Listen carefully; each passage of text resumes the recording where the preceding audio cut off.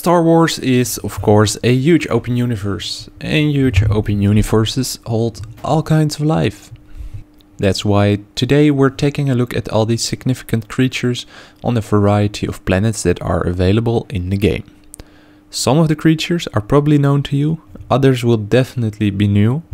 If you want a quick overview, here you go, it's on the screen right now. These are the creatures that we found. We're not going to list every butterfly or bird, only the more significant ones, so we get the most interesting uh, creatures, essentially. Pictures of all the creatures are also listed down in the description. First, we're traveling to the blue world of Kamino. When keeping an eye out, you might spot the mystical sea flap flap, also known as the Aiwha. It's very similar to what we would call a manta ray. Doesn't only live in the oceans though, you probably have seen them flying high in the sky. Sadly, as with all the other creatures, you can't really interact with them. They are more part of the environment than an actual animal, sadly. The next stop is on Pillio, which is only available in the story mode, but they are actually interactable. Even though they are more interactable, they're still not really interesting. Uh, they are the bugs, of course, the name is unclear.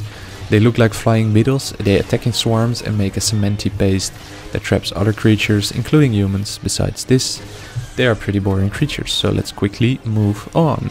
Moving on to Tatooine, there are 5 creatures that you've probably seen before. If not in the multiplayer of this game, you will probably have seen them in the movies. First up is the common Bantha, furry large creatures with curvy horns and a way too large mouth. They are often used as burden animals, which is the reason why it's standing in the middle of Mos Eisley. But there are more creatures here. Besides this, you can also see the Dewback, which is just a giant lizard. It's sometimes used as a mount for stormtroopers, but sadly not in this game. Besides this, we can also notice a creature that's called an Eopie. Essentially, it looks like a weird camel and of course is used by locals as a beast of burden.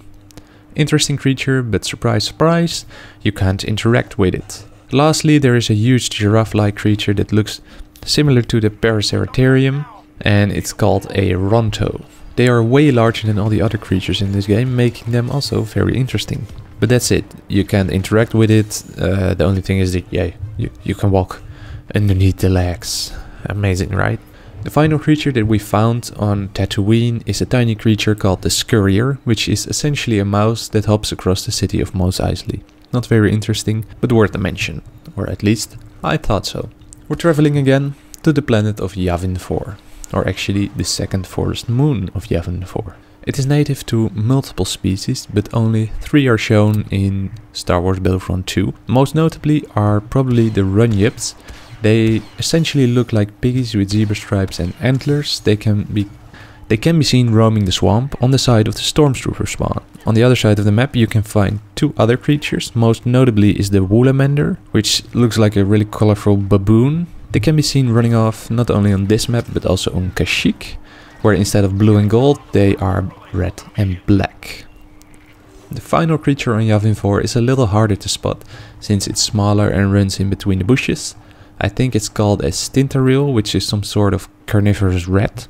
It doesn't completely resemble it, because if you look it up, Stintaril have different tails, but they... I think it looks alike, it doesn't look exactly like a rat, but it has a similar tail, so I'll go for it, I guess. Moving on to Theed Naboo, here we can find the golden pheasant in flux running around. The creature isn't that interesting and can be hard to find once battle conventions, but it's an actual real life animal and they look quite beautiful. And similar to the Scurrier from Tatooine, if you shoot them or there's an explosion, well they don't die, but at least they fall over, right? Realistic animal behavior. Before moving on to our last two planets, we'll make a quick stop to look at this weird looking bird on Jakku. It's called the steelpecker, which are carrion birds that only feed on metal as they are drawn to it by its magnetic signal.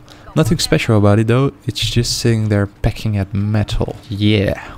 Moving on, another planet with a few bird-like creatures that are rather boring but worth mentioning is the forest moon of Endor. It houses the Gijaw, which is a bird-like flying reptile.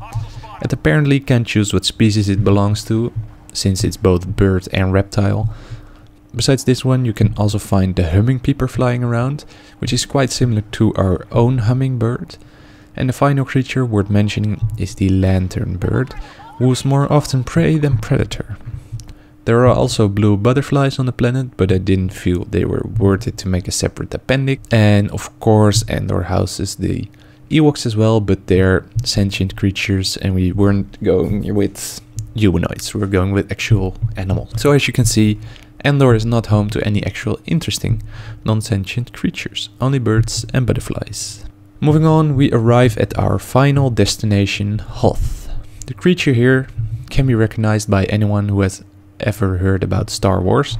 They let you ride them and keep you warm by allowing you to crawl into their abdominal cavity. Of course, we're talking about the Tauntauns, bipedal creatures that are mostly used for traveling across Hoth and one of the only creatures that can be interacted with. You can actually ride them and they have multiple abilities, which makes them very interesting.